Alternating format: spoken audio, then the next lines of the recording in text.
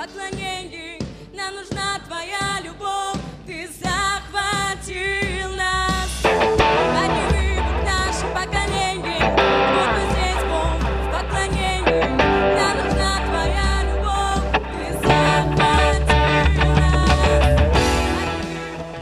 It's who you really are inside Это that means so much more. Кто ты внутри, это настолько That's важно. what